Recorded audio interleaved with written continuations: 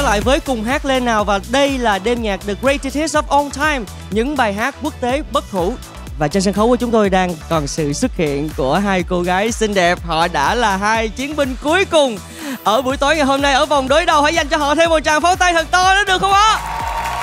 Yeah. Ở những vòng trước thì à, Mai Vi đang có số điểm cao hơn cho nên em sẽ là người phải chọn ca khúc để thi đấu ở trong vòng đối đầu này và hai ca khúc để cho các bạn lựa chọn.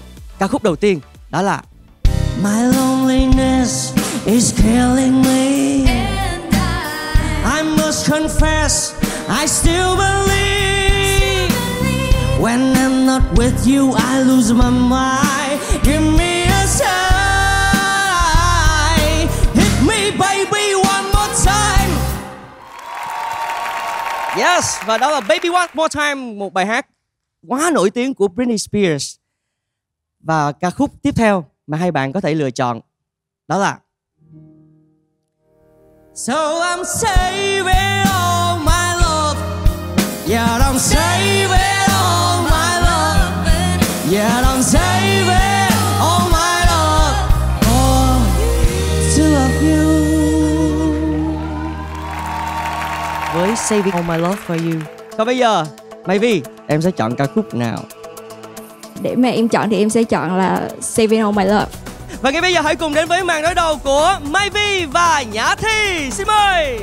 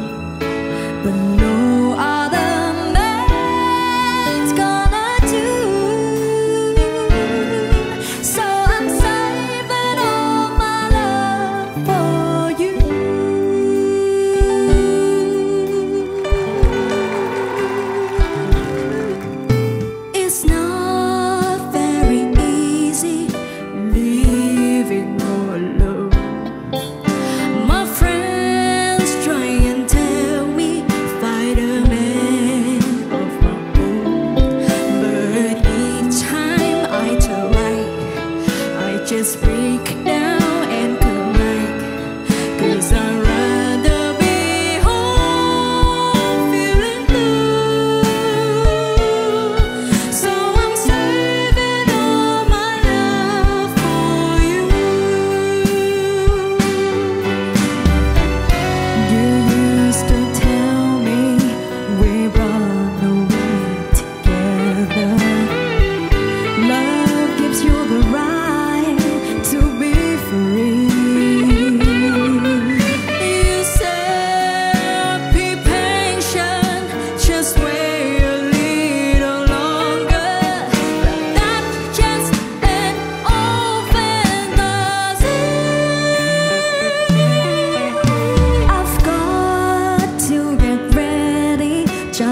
feet.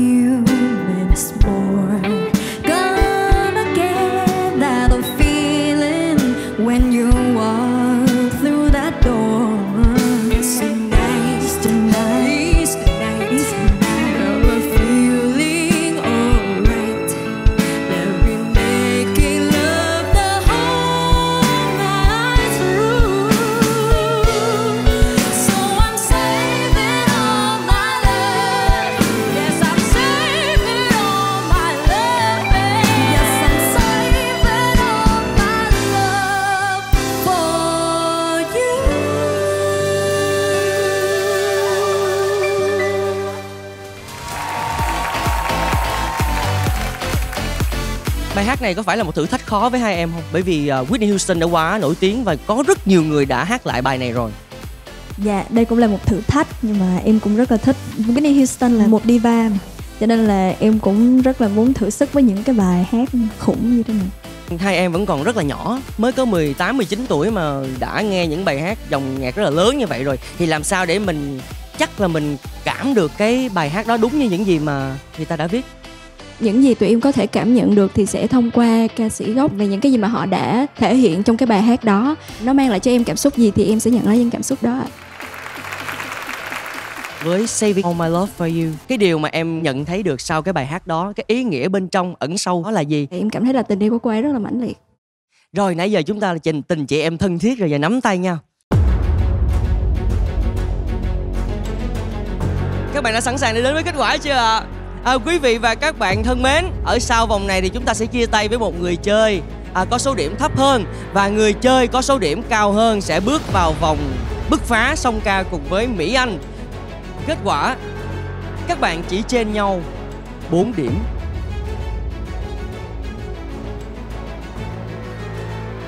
Xin được chúc mừng người chơi có số điểm 78 điểm. Nhã Thi